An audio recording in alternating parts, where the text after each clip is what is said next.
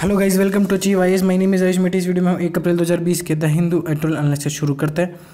पहला जो आर्टिकल है, वो है हमारा स्टेटअप step up citizens must not hide their travel और contact history as authorities deal with the pandemic देखो सिटीजन्स को कभी भी अपनी जो ट्रैवल और कॉन्टैक्ट हिस्ट्री है, वो छुपानी नहीं चाहिए। क्योंकि इस समय जो हमारे सामने समस्या है, सिर्फ़ कॉन्टैक्ट ट्रेसिंग से ही और टेस्टिंग से ही ये दूर हो सकती है। और उसके बावजूद भी देखा जा रहा है कि सिटीजन जो हैं, वो कॉन्टैक्ट छुपा रहे हैं। जिनको भी जो बाहर से आए हैं, जो पॉजिटिव लोगों के कॉन्टैक्ट में आए हैं, वो सब जो है, यहाँ पे अपनी हिस्ट्री छुपा रहे हैं। क्योंकि जब विद एनी बिग क्राइसिस जब भी कोई बिग क्राइसिस आता है तो उसके साथ ग्रेट रिस्पॉन्सिबिलिटी आती है, ज़िम्मेदारी आती है, किसकी? सरकार की भी और लोगों की भी।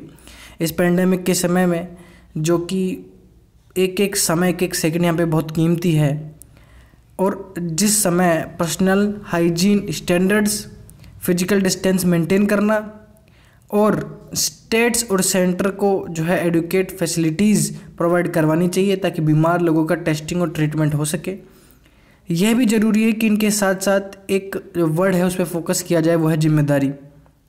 हर पब्लिक हेल्थ इमरजेंसी में कम्युनिटी को ये समझना चाहिए कि यहाँ पे जो आप ऑर्डिनरी जो रिस्पॉन्स दिखाते हो डेली जो आप करते हो, उससे ज़्यादा आपको एक्स्ट्राऑर्डिनरी काम करना पड़ेगा इस समय।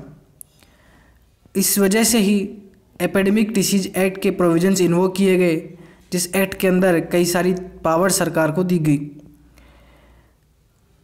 स्टेट पुलिस ऑलरेडी जो लॉकडाउन कंडीशंस को वॉयलेट कर रहे हैं, उनको सिखा रही है अपने अंदाज में। और जो क्वारंटाइन को वॉयलेट कर रहे हैं, उनको भी जो है एक्शन लिया जा रहा है। तो लॉकडाउन और क्वारंटाइन दोनों में बहुत फ़र्क है, ध्यान रखना। लॉकडाउन में अपन है और क्वारंटाइन में जो पॉजिटिव लोग आए हैं, जिनकी कॉन्टैक्ट हिस्ट्री है या फिर जो सिम्टम दिखा रहे हैं, वो है। स्ट्रोंगेस्ट वीपन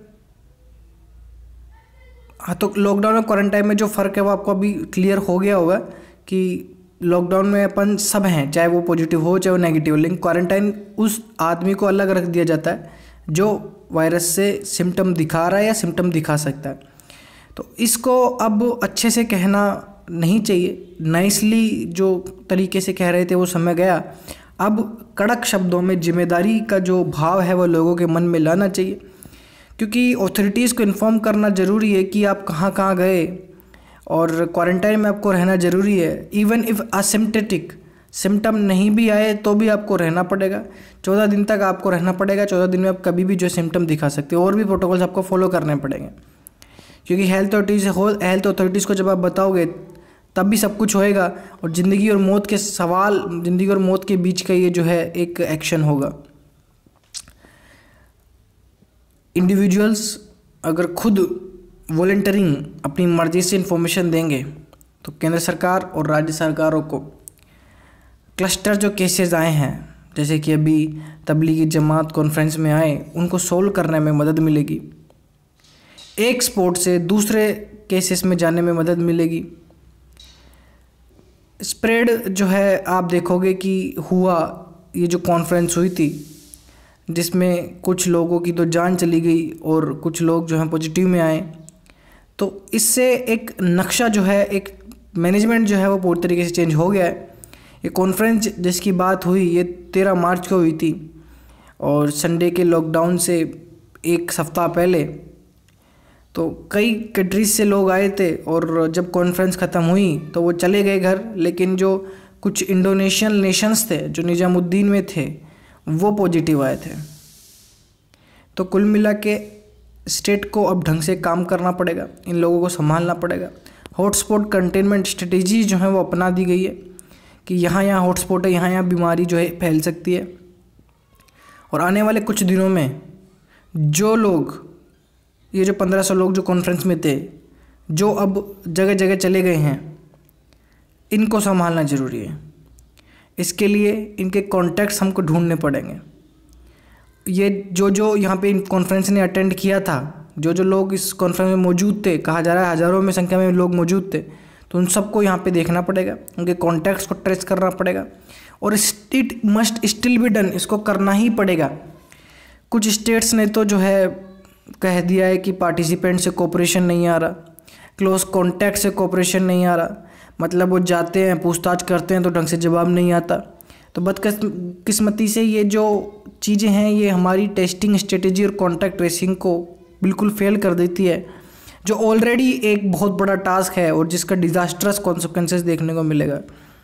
ऑलरेडी हम कॉन्टैक्ट ट्रेस नहीं कर सकते, चाहे वो कोई भी हो, लोग जो अपनी इन्फॉर्मेशन देने से मना करते हैं।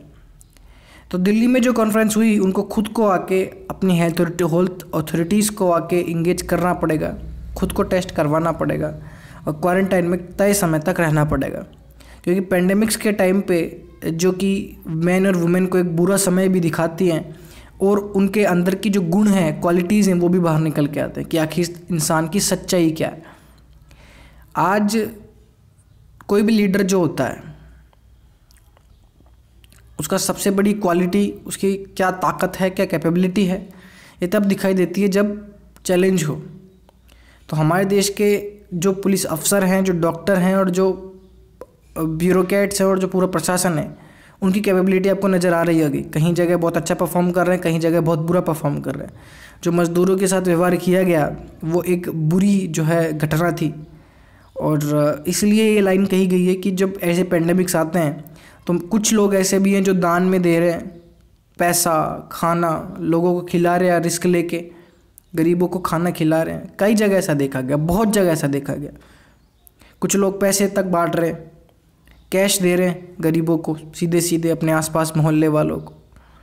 तो कुल मिला के कुछ लोगों की क्वालिटी नज़र आती है और कुछ लोगों का बुरा बर्ताव नज़र आता है। कुछ लोग जो हैं जनता कर्फ्यू के दिन भी बाहर निकल के भीड़ में आके जो है तालियाँ बजाने लग गए थे और एक देखा गया कि एक जगह के जो डिस्ट्रिक्ट मजिस्ट्रेट थे, वो सब भीड़ बना के जो है ये सब कर रहे थे।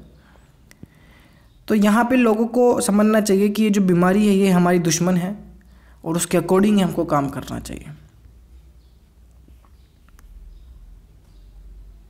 N I on containment and welfare इसमें तमिलनाडु के जो मुख्यमंत्री हैं, वे बेसिकली इलापाड़ी के पलाम स्वामी ये किस, बता रहे हैं कि किस तरीके से जो है इन्होंने अपने राज्य में काम किया और किस तरीके से इन्होंने जो ग्रेन्स हैं वो बंटवाए, किस तरीके से ये लैब खुलवा रहे हैं। और जब पहला केस आ गया था, तभी इन्होंने इंटरनेशनल जो फ़्लाइट्स हैं बंद कर दी थी और एयर, इन चेन्नई के एयरपोर्ट से नहीं, बल्कि कहीं से भी अगर कोई फॉरेन नेशनल आ रहा है तो इन्होंने ट्रेस करना उसको शुरू कर दिया था।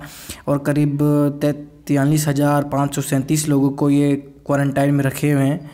और अट्ठाईस दिन तक ये क्वारंटाइन में रखेंगे। तो तमिलनाडु सरकार ने वही काम किया जो केंद्र सरकार कह रही है, लेकिन बहुत तेज़ी से, बहुत जल्दी काम किया। और डिस्ट्रिक्ट कलेक्टर्स को जो है, इन्होंने एन के साथ मिला के मास्क वास्क बटाने का काम किया। और इन्होंने पहले जो मॉल वगैरह है, सब कुछ फास्टली इन्होंने सब कुछ बंद कर दिया था। तो जल्दी इन्होंने एक्ट किया है beyond social distancing to fight covid nineteen देखो, इस आर्टिकल में बात हो रही है कि किस तरीके से साउथ कोरिया में बाहर के लोगों ने आके कोविड नाइन्टीन फैला दिया। ईरान में जो बिजनेसमैन थे, वो चाइना गए थे और जब वापस आए तो उन्होंने फैला दिया। बाकी कंट्रीज़ में भी कुछ इस तरह की हालत है। तो एक जो यहाँ पे हमारा जो ग्लोबलाइजेशन था, हमारी जो स्थिति थी कि हम पहले इतने सालों में आगे बढ़े ग्लोबलाइजेशन बढ़ा और अब सोशल डिस्टेंसिंग की वजह से जो स्टिग्मा है वो बढ़ता जाएगा। अब डीग्लोबलाइजेशन की शुरुआत हो सकती है कि लोग जो हैं, कम मिले, कम बाहर जाएँ और कई तरह की चीज़ें हैं। तो इसके कई रिस्क जो हैं मैं आपको बता चुका हूँ ऑलरेडी वीकर लेटर देखो ओलंपिक जो है पोस्टपोन हो चुका है और ज़रूरी था हेल्थ प्रायोरिटी जो है वो हमेशा ऊपर रहनी चाहिए अभी इस टाइम तो। A pandemic in an unequal India if covid nineteen pandemic lash India with severity it will not be just the middle class who will be affected covid nineteen अगर बहुत तेज़ी से फैलता है तो ये केवल मिडिल क्लास ही नहीं है जिसको इफ़ेक्ट होगा। इंडिया के पास इम्पावरिज्ड मिलियंस हैं, लाखों करोड़ों की संख्या में ऐसे लोग हैं जो कि इस मुसीबत से जूझ रहे होंगे। जो हमारा जो प्रिवलेज इंडियन है, जो ऐसा, जो हमारे ऐसे लोग हैं जिनको काफ़ी कंफर्ट मिला हुआ है, जो रिच जो क्लास है, जो अपर क्लास है, वो अभी जिस तरीके से इन्होंने ही एक तो इनक्वालिटी जो है क्रिएट की है और देखा जाए तो उसके बाद पेंडेमिक की वजह से जो इनक्वालिटी बढ़ गई है तो पुअर जो पीपल हैं, उनकी ज़िंदगी में और भी कठिनाइयाँ आ जाएँगी और जीने की जो संभावनाएँ हैं, वो घटती चली जाएँगी। गवर्नमेंट के द्वारा मेजर्स जो अडप्ट किए गए, जैसे कि वर्क फ्रॉम होम का कल्चर निकल के आया, हाथ धोने का जो कल्चर निकल के आया फ़िज़िकल डिस्टेंसिंग का कल्चर निकल के आया और फिर जो इक्कीस डे का जो लॉकडाउन निकल के आया, ये एक तरीके से आप देखोगे सोशल डिवाइड को डीपन कर रहा है। ये ऐसे नहीं कह रहा कि लॉकडाउन गलत था, लेकिन इसका इम्पैक्ट ये बता रहा है। पब्लिक हेल्थ एक्सपर्ट इस मुद्दे पे डिवाइड हैं कि ये लॉकडाउन क्या एब्सोल्युटली नेसेसरी था और क्या इसको इम्प्लीमेंट कर सकते थे। ये क्लियर होना चाहिए कि लॉकडाउन जो है वो केवल अमीर लोगों के लिए मिडिल क्लास लोगों के लिए सुरक्षित है, जो केवल उनकी रेगुलर इनकम है सेविंग है और उन घरों के लिए है जो कि डिस्टेंसिंग की जगह जहाँ पे हैं। आप और मैं जिस घर में रहते हैं, आप और मैं अपने मम्मी पापा से अलग अलग कमरों में रह सकते हैं। हेल्थ इंश्योरेंस हमारा होता है, पानी 24 घंटे आता है। कई जगह नहीं भी आता, लेकिन पानी की रेगुलर सप्लाई तो रहती है। लेकिन जो करोड़ों लोग हैं, जो लाखों लोग हैं, जिनके घर में पानी तक नहीं आता, वो हाथ कैसे धोएँगे? और हाथ तो छोड़ो, वो ऐसे लोग जो स्लम एरियाज़ में रहते हैं, जिनको खाने को भी कुछ नहीं मिलता, वो कैसे रहेंगे? तो लॉकडाउन ऑर्डर करते समय गवर्नमेंट ने मिलियंस ऑफ़ वर्कर्स की डेस्टिट्यूट पीपल की सोची नहीं कि अगर वो घर में रहेंगे, करीब ऐसे माइग्रेंट्स जो कि दस करोड़ की संख्या बताई जा रही है, कैसे रहेंगे? बिना काम के। डेली वेज वर्कर जो सौ रुपये दो सौ रुपये मिलते हैं, रिक्शा पुलर्स, स्ट्रीट वेंडर्स। ऐसे हैं जो केवल दिन में इतना कमाते हैं खाने के लिए और अपनी फैमिली को खिलाने के लिए। क्या गवर्नमेंट ये चाहती है कि वो बिना खाए जो है रह जाए? देखा जाए तो क्राइसिस ऑफ़ हंगर जो है, ये भी बढ़ता चले जाएगा अगर इस तरीके से काम होता। हालाँकि गवर्नमेंट ने जो है यहाँ पे पैकेज भी अनाउंस किया, उसके बारे में हम पढ़ेंगे।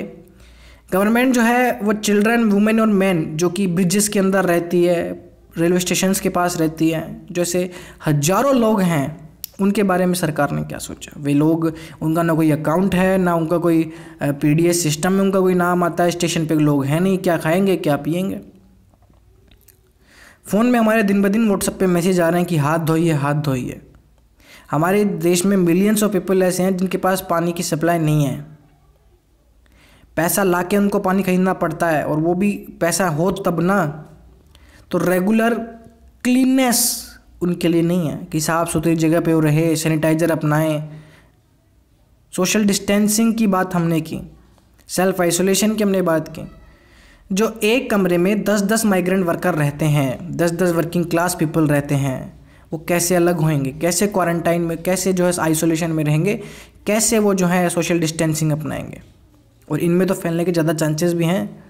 तो जो होमलेस पीपल हैं, जिनके पास कोई चांस नहीं है, बस वो केवल रैन बसोरा में गवर्नमेंट के जो शेल्टर्स हैं और छोटी मोटी जो जगह है, वहाँ पर रहते हैं, वो कैसे इन्फेक्शन से बच पाएँगे? जेल्स हमारी बैगर होम हमारे कैसे रह पाएँगे? असम में जो डिटेंशन सेंटर में बंद है, इनमें तो इन्फेक्शन फैलने के चांसेस ज़्यादा हैं। अगर हेल्थ सिस्टम की कैपेसिटी की बात करें तो इंडिया की अगर इन्वेस्टमेंट और पब्लिक हेल्थ की बात करूँ तो ये तो बात हमने पहले भी कर चुके हैं कि बहुत कम पैसा जीडीपी का हम जीडी हेल्थ पे खर्च करते हैं और सरकार ने जो अनाउंस किया पैकेज उसमें पाँच जो किलो एक मंथ के लिए फ्री दिया जाएगा। एडिशनल तीन महीनों के लिए हर मंथ पाँच सौ रुपये जो है वो जनधन योजना में जो वुमेन के अकाउंट्स हैं, उनको दिया जाएगा। और मनरेगा वर्कर्स जो हैं वो दो हज़ार रुपये उनको ज़्यादा दिए जाएँगे। ये सब अगर हम देखें तो ये कम दिखाई देता है कि इतने से क्या होगा। माइग्रेंट वर्कर्स अगर आप देखो कि जो बाहर निकले थे, वो बाहर निकले क्यों? अगर उनको सरकार पे भरोसा होता, अगर सरकार ने उनको सुरक्षित पैकेज दे दिया होता, सब कुछ उनको, अगर उनको लगता कि सरकार हमारे लिए खाना बने, पीने का व्यवस्था कर देगी तो निकलते क्यों? तो वो निकले क्योंकि उनकी मजबूरी थी। उनको लगता कि सरकार ने जो है हमारे लिए अभी तक नहीं किया। तो most of the official strategies अभी ये है कि सिटीजन पे रिस्पॉन्सिबिलिटी डाल दो। सरकार पे मत डालो। राइटर कह रहे हैं कि सरकार ने जो है बहुत कम किया है पिछले महीनों में। इसको पेंडेमिक को इंडिया को रोकने से पहले कि इंडिया में पहुँचे ही नहीं, इससे पहले कुछ कर दें। और हेल्थ इंफ्रास्ट्रक्चर पे जो है बहुत कम सरकार ने जो है पैसा लगाया है। प्लानिंग ऑपरेशन नहीं किए कि ऑलरेडी अगर हम लॉकडाउन करते हैं तो माइग्रेंट वर्कर्स तो निकलेंगे ही निकलेंगे तो उनको क्या करें, किस तरीके से रोका जाए? मैंने जो कंडीशन बताई स्टेशन वाली ब्रिज वाली मिलियंस ऑफ़ पीपल जो कि बैगर होम में रहते हैं शेल्टर होम में रहते हैं, उनका क्या होगा? तो कुल मिला के सब कुछ यहाँ पे बढ़ाना चाहिए कैश बढ़ाना चाहिए पीडी सिस्टम बढ़ाना चाहिए, पानी वानी पहुँचाना चाहिए कुकड फ़ूड यहाँ पे पहुँचाना चाहिए। जेल्स में से जो प्रिजनर्स हैं उनको निकालना चाहिए, जो सीवर जो क्राइम कर रखा है, जिन्होंने गंभीर जो अपराध किया है, उनको तो नवे मत निकालो, पर बाकी को निकाल दो। और इंडिया को अब आने वाले समय में जब ये चले जाएगा कोविड नाइन्टीन तो जीडीपी का तीन परसेंट जो है हेल्थ सर्विसेज़ पर हमको देनी पड़ेगी और फ्री और universal primary secondary health care पर हमको फोकस करना पड़ेगा। और अभी ज़रूरत है हमें कि हम स्पेन और न्यूजीलैंड के प्राइवेट हेल्थ केयर की जो है, वो अपनाएँ। एक तरीके से नेशनलाइज करें प्राइवेट हेल्थ केयर को कि हर जगह हो। नेशनलाइज मतलब गरीब से गरीब भी प्राइवेट हेल्थ केयर का भोग कर सके, उपयोग कर सके। तो एक ऑर्डिनेंस पास होना चाहिए कि कोविड नाइन्टीन के समय में कोई भी अगर सिम्टम दिखाई देते हैं किसी भी पेशेंट के तो प्राइवेट हॉस्पिटल में जा सकता है, उसको भगाया नहीं जाएगा। एक पॉपुलेशन है हमारी, जो nutritional security work health insurance globally acceptable standards को फॉलो करती है, काम करती है और कुछ लोग ऐसे हैं जो कि अनप्रोटेक्टेड अनसर्टेन वर्म में काम करते हैं। पानी नहीं होता सैनिटेशन नहीं होता पब्लिक हेल्थ केयर नहीं होता। तो क्या हम post covid nineteen covid nineteen के चलने के जाने के बाद ये सबको ठीक कर सकते हैं? क्या हम हमारी कंट्री को हम इक्वल बना सकते हैं? ये सब कोविड नाइन्टीन के चले जाने के बाद हमको देखना हो। वेलकम देन स्टिगमाइज नाउ देखो, बात क्या हो रही है? कि विदेशी जो लोग आए, शुरू में जब लॉकडाउन नहीं हुआ था तो उनके साथ शुरू में कैसा बर्ताव हुआ और अब कैसा बर्ताव हो रहा है? एक जगह देखा गया कि इटालियन टूरिस्ट थे, उन्होंने चर्च के बगल में जो है अपनी रात बिताई। कारण? क्योंकि उनको कई जगह जो है रूम नहीं मिला। सरकार को लगा कि इनमें जो है इन्फेक्शन हो सकता है। और सरकार ने पहले कह दिया था कि कोई भी फॉरेनर जो हैं, वो टिके होटल में उनको नहीं लिया जाए। इटली, फ्रांस और चाइना और ईरान से तो खास कर और अगर होटल ऐसा करते हैं तो उनको फिर अकेले में रखा जाए। एक और बात हो रही है कि ब्रिटिश टूरिस्ट थे, जो कि केरला में थे, आए थे, उनको जो है सिम्टम दिखे, जब उनको पकड़ के लेके गए तो वो भाग के आ गए पता चला वो पॉजिटिव हैं, जब तक वो एयरपोर्ट पे पहुँच चुके थे, फ़्लाइट खाली करवाई, तब जाके जो है पता लगा। तो कई जगह ऐसा देखा जा रहा है कि विदेशियों के साथ जो है बुरा बर्ताव किया जा रहा है। और ये बर्ताव वैसा है जिस तरीके से एचआईवी और एड्स के साथ होता है। एच एड्स पेशेंट्स के साथ होता है। एक घटना है जब एचआईवी और एड्स पेशेंट्स के साथ जो है बहुत बुरा बर्ताव किया गया था, जिसमें कुछ महिलाओं के जो है यहाँ पे साथ बहुत बुरा बर्ताव किया गया था, जब लगता है कि हाँ ये पेशेंट है, जब पता चलता है। तो ये बिल्कुल कोविड नाइन्टीन जो है विदेशियों को और वर्कर्स को एक तरीके से डिस्क्रिमिनेशन की ओर लेके जा रही है। तो करीब करीब अगर हम देखें तो कोविड नाइन्टीन भारत के लिए बहुत बड़ा थ्रीड तो है ही, लेकिन यहाँ पे उन लोगों को ऐसे रिएक्शन मत दो कि वहाँ पे लोग डर जाएँ और आगे जाके हमारे देश में लौट के ही ना आए। या फिर ऐसा हो कि उनके ज़िंदगी भर एक मेंटल डिप्रेशन हो जाए या मेंटल जो है एक इम्प्रेशन पड़ जाए कि हमारे साथ जो है सब बर्ताव हुआ था। हाँ उनको रखिए अलग, लेकिन बर्ताव सही से हो जाना चाहिए, उनको आइसोलेशन में ढंग से रखना चाहिए। तो लोगों में जो डर है वो ना फैले और किसी तरीके से स्टिग्मा तो फैले नहीं। स्टिग्मा मतलब एक धब्बा कि हाँ ये तो कोविड नाइन्टीन से जूझ रहा था। गाइज़ ये थी हमारी वीडियो थैंक्स फॉर वॉचिंग जय हिंद गॉड ब्लेस